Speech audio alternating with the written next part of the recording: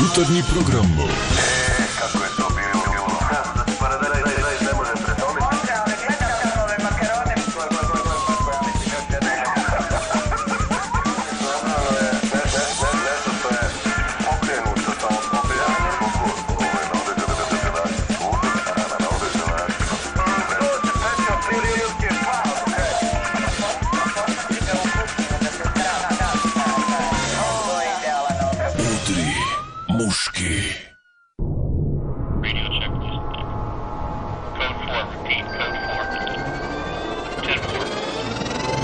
alert.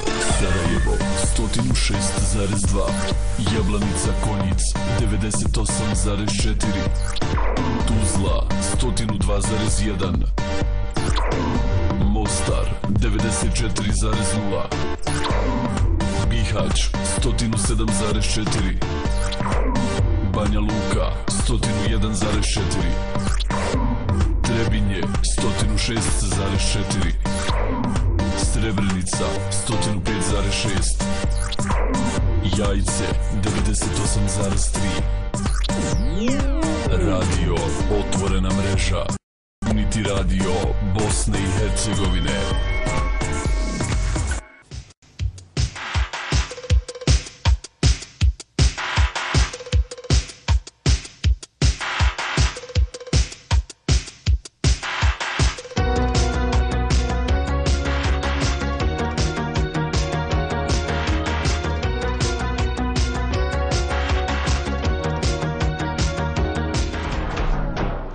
Ako ste mislili da je Slađa odlučila onako čvrsto da se dovede u liniju, grdno se varate. Nije to razlog mog dolaska u ovu fitness teretanu.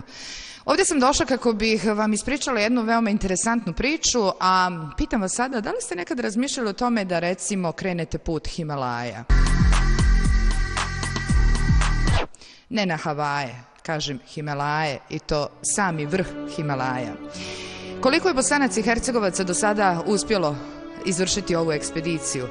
Ne znam tačan broj, ali znam da će Ismir Jusko i Benjamin Kasumović krenuti 18. aprila upravo put Himalaja i to na Island Peak 2014.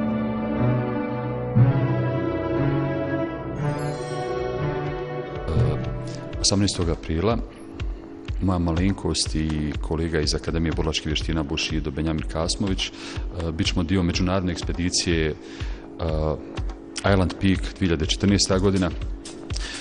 Ideja da idemo na Island Peak, odnosno uopće idemo na Himalaje, je stara već više od pet godina. Međutim, da bi se ipak upustili jednu takvu avanturu, e, nije stvar koja se preko noći može donijeti odluka da se krene na takav put.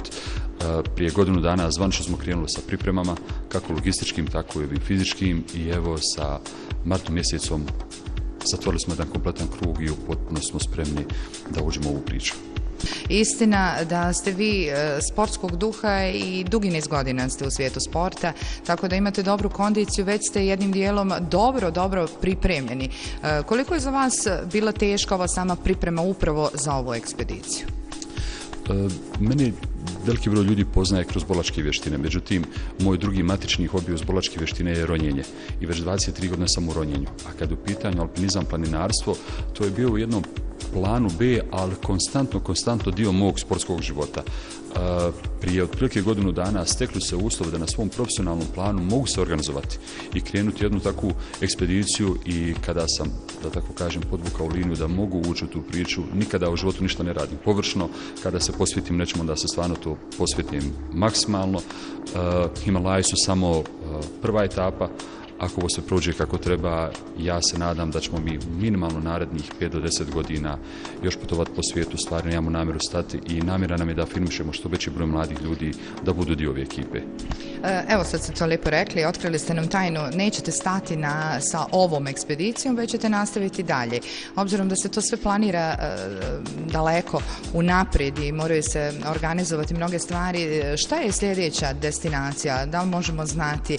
I nestrpljivo naravno očekujemo vaš povratak sa Himalaja, e, sve one snimke, fotografije, sve one vaše impresije koje budete željeli podijeliti sa nama, ali voljeli bismo malo jeli, saznati dalje šta je to sljedeći korak. E, na- Sljedeći naš projekat je vrh od 7000 metara u Južnoj Americi, u Argentini, Aconcagua i nakon toga, ako bi sve bilo kako treba, mi bi planirali da pokušamo osvojiti neki od vrhova iznad 8000 metara. Ja bih voljela, obzirom da u našoj emisiji e, Udri muški uvijek nekako pobjegnemo od onog oficijalnog i zvaničnog, da date upute meni koja sam apsolutno u top formi za odlazak na neki svjetski vrh, zašto ne Himalaje, da mi date e, neke instrukcije šta bih ja to trebala da poradim na sebi kako bih mogla postati jednog dana dio vaše ekipe. Prva i osnova od koje se sve kreće je cilj da postavite gdje želite da budete za godinu dana. Prije godinu dana ja sam na svom zidu u firmi napisao Island Peak i pravio crtice etapu po etapu šta treba da dođem do tog cilja i jednostavno nisam dozvoljavao da me bilo šta spriječi da svaku od tih etapa realizujem. Puno fizičke pripreme, puno logistike, ja ovaj put moram reći da možda najveću zahvalu dugujem Sarajevskoj škole alpinizma Mohamedu Gavču, Samiru Mehiću i Nerminu Demiru, to su vrhunski profesionalci, vrhunski alpinisti koji su mi pomogli da naučim stvari kako da se popnim sigurno na vrh, a isto tako kako da siđem sa tog vrha.